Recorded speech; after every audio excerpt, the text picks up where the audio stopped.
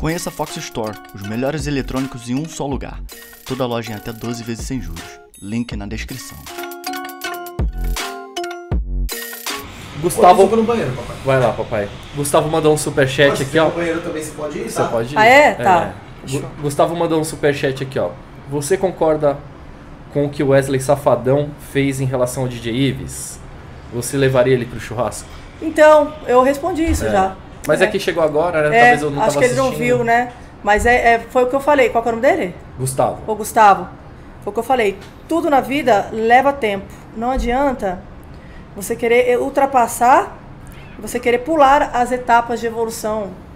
Em todos os aspectos. Quando você está na escola, você pula do- da primeira série para a oitava. Quando você está fazendo a faculdade, você vai do primeiro semestre para o quinto.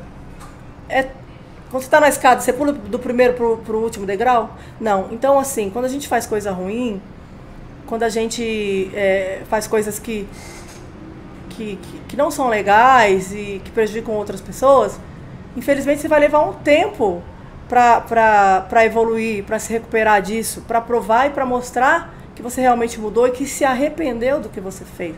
Não é de uma hora para outra, porque senão fica tudo muito fácil. Você erra e ali tem na frente, não, vou errar porque ali já, já vão esquecer e vão perdoar e já vou voltar a fazer.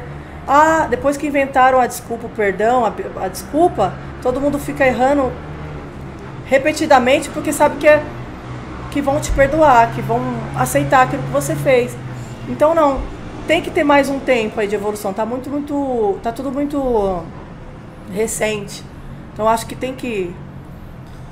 É, ele precisa colocar a cabeça no travesseiro e dar tem- uma pensada, ele, né? ele- ele ainda, tem, ainda tem mais, assim, a minha concepção, tem mais um tempinho ainda pra, pra realmente se arrepender do que fez. Sofrer as um pouco as consequências da, daquele ato, sabe? É isso.